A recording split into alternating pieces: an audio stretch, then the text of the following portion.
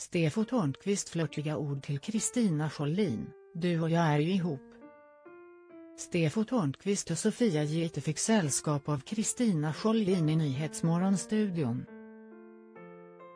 Under den direktsända intervjun utbyttes några skämtsamma flörtiga ord. Midsommarspecialen av TV4, S Nyhetsmorgon bjöd på flera spännande inslag, bland annat årets första sommargäst. Det var ingen mindre än folkkära skådespelare Kristina Schollin.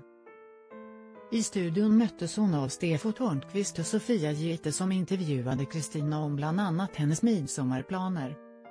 I slutet av intervjun möttes tittarna av en skämtsam flörtig kommentar från Stefo. Kristina Schollin gästade Nyhetsmorgon, innan midsommarfirandet. I den direktsända intervjun berättade Kristina om hur hon skulle fira midsommar. Enligt tradition skulle hela familjen samlas hemma hos henne och maken Hans Wahlgren ute på Norra Långö. Dit skulle hon bege sig direkt efter intervjun, när programledarna började runda av. Så får vi be om en hälsning till hela klanen, och önska er en fantastisk midsommar, säger Stefo.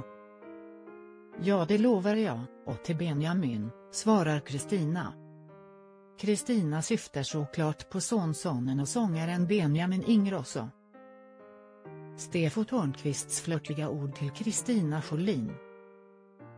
Benjamin hade redan kommit på tal flera gånger under intervjun.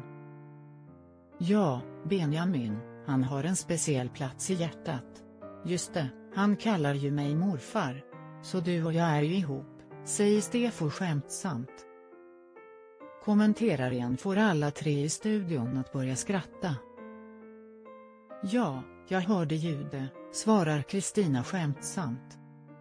Det finns något där, tillägger Sofia.